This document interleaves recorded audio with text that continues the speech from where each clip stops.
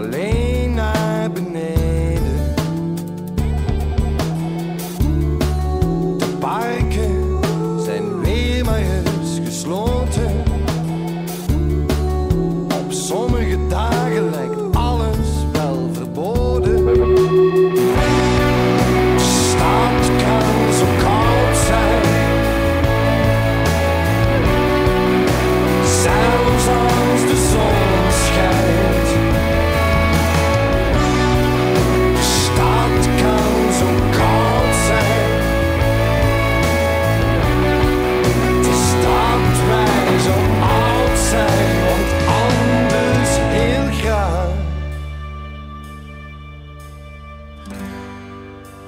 liefst nog vandaag.